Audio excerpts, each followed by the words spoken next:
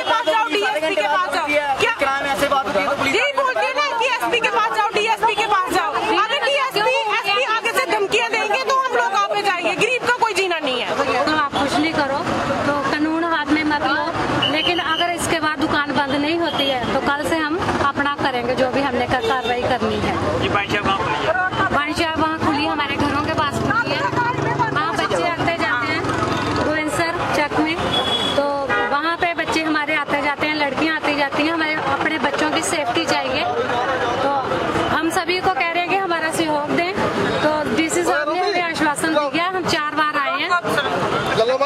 हाँ? मैं मतलब वो अलग अलग को धमकियाँ भी दे रहे हैं कि इधर मत करो, आप ऐसा मत करो, वैसा मत करो।